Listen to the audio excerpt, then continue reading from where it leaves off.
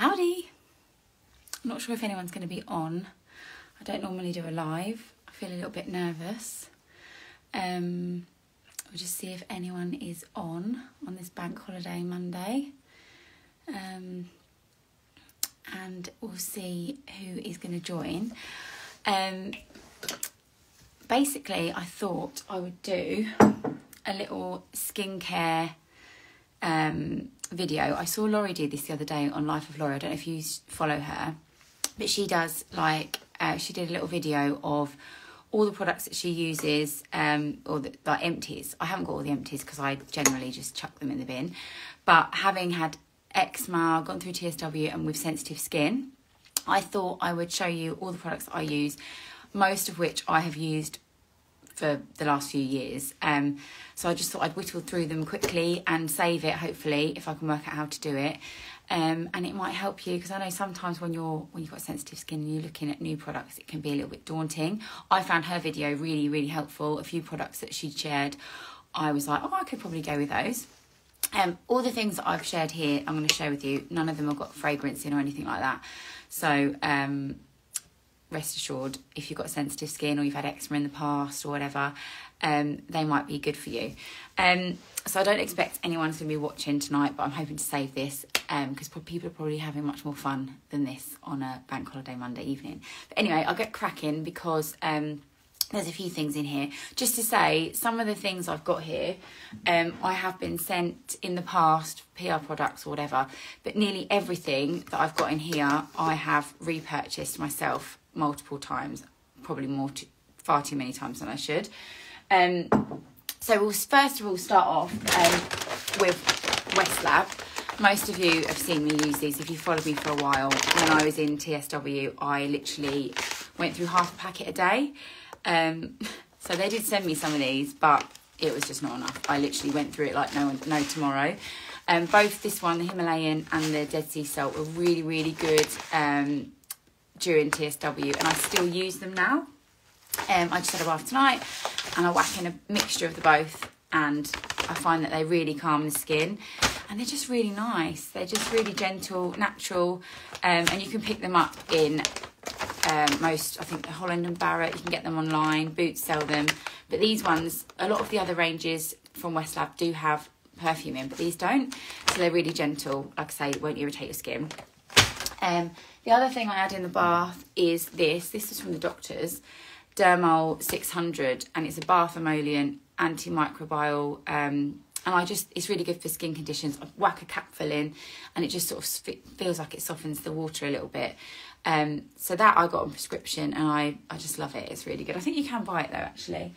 Um, so that's the bath stuff. In terms of skincare, I'll go through this quickly. Um, Dermal, not Dermal, Dermalex. I was sent this via with a PR product as a PR product. Um, it's the repair and restore one. I have since bought this. It's probably my fourth one now, and this is my go-to moisturizer that I use most days. Um, it's when you first put it on, the first few applications, apparently it stings a little bit, and I did find that it does say it on the box that it can sting a little bit, um, but you just kind of get used to it, and then it stops after a few days. I don't know why it does it for the first couple of times, don't know, but it, it is really good. Um, it's really good at helping uh, repair the barrier. So it's one that I just constantly buy on repeat now. You get it from Boots. Uh, they do do an eczema one, but I haven't tried that one yet. Um, but it's just a really nice moisturiser, so that one's good. Um, over the last however many years with eczema and having gone through TSW, I'm three years in now. Um, I have bought so much of the Avene skin recovery, um, not skin recovery, the um, XeraCalm Balm. I can't. T- I dread to think how much money I've spent on this. Um, I've never had this as a PR product. I just genuinely, genuinely love this. Um, the, they do a cream. The balm is better in my opinion. It goes on better. It's a lot smoother. It's um, it goes a long way. It's a sterile bottle as well, so there's less chance of infections. You know, having to, you know, um, putting it in, putting it on, putting your fingers in or whatever. But I do cut the top off when I've got to the end and scrape the last bits out because you know get your money's worth. Um, but that's definitely one. If you've got eczema, you can use it from, um, all babies can use it, anyone can use it with um, sensitive skin. It's a really nice moisturiser. They also did a skin recovery cream that I used to use like religiously on my face when I had really bad eczema and when um, I was going through TSW. Most people um, going through topical steroid withdrawal or they've got the addicted to steroid creams um, can't handle moisturiser because it makes the skin burn and go red and it did do that with my skin. However, my body I stopped moisturising but my face I still continued to moisturise because I felt like going out and seeing everybody and facing the world felt easier with a moisturised red face that I could put foundation on rather than a really dry face, if that makes sense. So they do a skin recovery cream. This one um, is the Soothing Skin Recovery Balm. Uh, it's slightly different to the one I used to use, and it's a nice skin cream, but I, I don't really feel like I need this amount of moisturisation now. My skin's healed or better, um, but it is a really good one to try if you haven't tried this range. Um, Boots do it. They use sometimes do three for twos as well, but it's one that I definitely would recommend if you've got eczema. Um, yeah. Um, in terms of my face, I still use this. This is the La Roche-Posay Rosaliac AR Intense. It's a serum. I think it is more for people with rosacea because it apparently reduces the redness. But I don't know whether it has ever reduced the redness for me, I don't know, but I just love the consistency of the serum and it's just a really nice one to put on underneath your moisturiser. So that one I consistently buy. I've always got one. It's just a really nice consistency. It's like a, like I say, a serum. It's really nice to go under. So I usually use my hyaluronic, then that, then my moisturiser. Um, you can see it. I don't know if you can see there. It's really nice. So that one I use religiously. Um, this by Typology is like my favourite product, I would say. It's the hyaluronic, uh, plant-based hyaluronic acid, 3% and B5. I've tried a few different hyaluronics before and they're really good at locking the moisturizer, uh, locking the moisture in. But some of them that I've used before have been like quite a watery, thin consistency, whereas this it's really, um, I don't want to waste it, but it's really sort of thick. So what you do, the trick with hyaluronic when you've got dry skin is you sort of dampen your face a little bit so that your face is a little bit damp and then you put this on and it basically locks the moisture in then you put your moisturizer on the top and it sort of creates a like a seal and um hyaluronic can hold loads of water. So it draws the moisture from the deeper layers, layers of your skin and it's really good for moisturization so this i think has really helped with my recovery from tsw and i will continue to buy this. They do a smaller one it's not cheap and obviously because it's typology they're a french brand you have to um, pay postage isn't great. So but they did send it to me originally i have since then gone on to buy more because i love it and i think i'll have to just keep buying that um eye cream. I never used to really use an eye cream. Specifically, I just used to whack this around my eyes because my eyes do get really sensitive, especially if I've had like a flare up or I'm allergic to something or um, if I've got a food allergy, it always tends to make my eyes puffy. So um, I used to just use the Balmonds, which I'll show you in a minute, but I was gifted this by Dermalogica. It's the Awaken Peptide Eye Gel. It's got caffeine in and it is brilliant. I love it. And I will definitely be repurchasing this when um, it's run out because it's just lovely. It's so nice. You only need a tiny little bit underneath your eyes first thing in the morning and it will brighten your eyes. Brilliant. I love that one. Um, with Typology, I was sent their cleanser. Um, they've got a seven ingredient cleansing oil from Typology that is 99% naturally derived and I absolutely love this absolutely love it. It's really good for taking all your makeup off. Um, and because it's oil based, it doesn't dry your skin out. The only thing I would say is I need to use quite a lot of it. And because it's not cheap, um, I find I, I could do with more. So I'm really sort of making the most of that cotton pad with it on because otherwise I'd go through like a bottle every probably every week or so.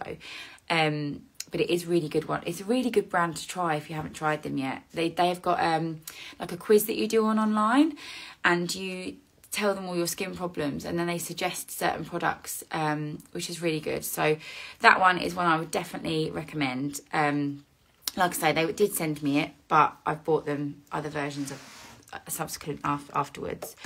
Um, and then still with skincare, just quickly, those of you that follow me for ages will know I absolutely love Balmonds. It's like the best thing ever. Literally, I've got one of these in my car, every handbag, in my makeup bag. They they do little pots of it as well, little tins, and they do bigger ones. But during TSW, I used to just cover myself in this. It's natural. You can use it for everything like tattoo healing, um, insect bites, bed sores, shaving rash, anything you, you name it, you can use this on. Um, it's just like a little green sort of balm. Um, so I would definitely give that a whirl. It's it's it's just brilliant. Um, I've used it on my son's got eczema on his hand, um, and we're always whacking on, and it really helps clear it up. So that one is a good one. They've just recently brought out this one, which is their tea tree balm. It's a similar consistency. It looks very similar, but it smells totally different. It smells like this one smells like shoe polish, if I'm honest. But um, again, it's natural. This is tea tree and safflower, um, and it's it's just an all round balm to have in your handbag. Someone needs a bit of cream, you know, child's got a cracked lip or a sore hand or whatever, you can just whack it on. Um, it was really good for sorting out my chapped lips the other day um, from the sun. I got sunburnt lips, so that was a really good winner. Um, and then the other Balmonds product that I use is the natural shampoo and body wash. Um, some of their range has actually got lavender in, and I don't find I get on very well with lavender. It sort of irritates my skin a little bit. So this one I can use. I don't use it to wash my hair. I just use it as like a shower gel for putting on when you're shaving your legs. I use it for the kids in the shower after swimming to do their hair and their body. Um, it's really gentle and it's it's a really good brand. Like I say, there's no there's no it lists all the things that it hasn't got in. A lot of products have got in, so no parabens, no perfumes, no paraffin, no SLS. It's brilliant. No mineral oil. Um, I know I'm talking like a million miles an hour here, but I don't want this video to be really long. If you wanted to try any of the Balmond stuff, I do have a discount code where you can get 20% off. Um, it's an affiliate, so I'll earn a very, very small commission. But like I say, if you've followed me for a while, you'll know I've used this stuff for so long and it is tried and tested and I love it. And there's a lot of people in the TSW and the eczema community which will vouch for this as well. Um, so if you know anyone that's got eczema um, or sensitive skin, recommend Balmonds and get them to use my code because they'll get 20% off. Um, where did I get to? I don't know if anyone's actually on. I'm hoping to save this. Fingers crossed. I can don't get it wrong. I feel like I've literally just shouted and spoke really quick at the screen. Um, hair care. Oh, hair care. So hair care, as you all know, I love a bit of Olsen. Olsen hair care I've used for ages now. It's really nice because it's got no perfume. I can't really use anything with perfume because perfume scented products always seem to irritate. I don't know if now that my skin's a lot better whether I'd be able to tolerate perfume products, but I'm too scared to try to be honest. So I, I'm always fragrance free. Um, so these ones, they do a normal to dry and they do a volume range as well, shampoo and conditioner. They are Allergy UK approved, um, and it's a range that's been formulated by hair professionals and also sort of skincare specialists as well together. So um, it's just a really good range. Like when I was going through TSW and had really, really sore skin, um, rather than having to wash my hair over the bath, I could use these in the shower in the bath and they didn't irritate. So obviously when your skin barrier is broken, you want to do as, as little as you can to it to avoid irritating it even more. So um, shampoos and things like that, a lot of shampoos, normal shampoos have SLS in, which is like a foaming agent that makes your shampoo um, foam and that's what's really drying. So I don't know, sometimes when you wash your hair, you get a really dry scalp. That's the SLS in it that is like stripping your skin of moisture, which you don't want. So um, I'd recommend these. I've used them for ages. And again, Olsen, you can get 10% off with my code, which I'll put them in the in the um, the comments. Um, you can get 10% off across the range. So that's the shampoo and conditioner. I also use their um, leave-in conditioner spray as well. It's really good for like knots and dry ends. I used to be a bit scared of leave-in conditioners to be honest, because I always used to find that you'd put it in and you feel like you got to wash your hair again. But um, again, it's fragrance free. It's really good. I love it. I've got a few of these swimming bag and everything as well. Um, I just used it on my little niece recently. She's over from Australia. She's got really gorgeous white blonde curls, and I'll share the video. I haven't shared it, I don't think, of like the which one we'd done, and the difference was incredible, really. Um, they do a, sh- uh, a hairspray as well. I've used this for ages, years. I've used this. Um, I could never use hairspray. It always used to irritate my skin. I'd spray it, it lands on your face, on your skin, and then you'd get irritation. This, I've had absolutely no problems with this. I can spray it, and it just gets on your skin, and it's it doesn't irritate. Um, no fragrances, no colorants, and it's is formulated with sensitive skin in mind. So yeah, love that one. And they do a mousse as well, but the mousse it doesn't foam like a normal mousse. So if you've got curly hair, you can use it and it's good for volume, but it doesn't foam like a huge like a normal mousse would. But so if you use it and you think why is this not foaming, it's it's it's just what it's like. Um, and then hair care wise, I found this. I was looking for a heat protector, but also one that would protect uh, from UV for on holiday and stuff, rather than drying your ends out. Um, and I found this on a foreign website, Nuggela and Sulé Total Hair Protector. It's a UV and a heat protector, and it's natural heat defense. Um, I can't tell you what it says in the back because it's in a foreign language, but um, it was the one that I'd found that had the least amount of rubbish in. Um, it does have fragrance in this, parf- parfum, parfum, perfume basically. Um, but it's one of the later ingredients on the list, so it doesn't have as much. I, I put it, it's like a cream, put it on my hands and then just put it on the ends, and I seem to be fine with that. Um, and then I think the last thing, sun cream. I get asked about sun cream. It's probably the most asked question I get about what sun cream to use. Um, my sun, my skin used to hate the sun. I thought it was the sun that hated that that it hated, uh, but actually it was the sun cream. I remember I always used to get puffy eyes, rashes. I'd get all oh, it was horrific. I hated it. Um, but actually, my sun, my skin loves the sun. Um, but the sun cream makes such a difference. Like I found this on this, um, is it called Ecco Verde website? I think it's called Ecco Verde. Um, it's a Officina Naturale. It's a foreign brand. This is factor 15. It's, it's nickel free as well, fragrance free for sensitive skin. Um, it's quite thick. When you put it on, it's quite thick. It takes a little while to rub in, but it's made such a difference to my skin in the sun. So basically, oh look, Lowri's joined. I'm doing a similar thing to you, lovely, because I really liked your video. So um, hi. Um, these aren't my empties. These are ones that I use all the time, basically. Um, I've used for ages, but I thought it'd be worth sharing because I found your video really good. Um, found a few things on there that I might check out. Anyway, um, the sun cream. So yeah, they do do a slightly higher um factor.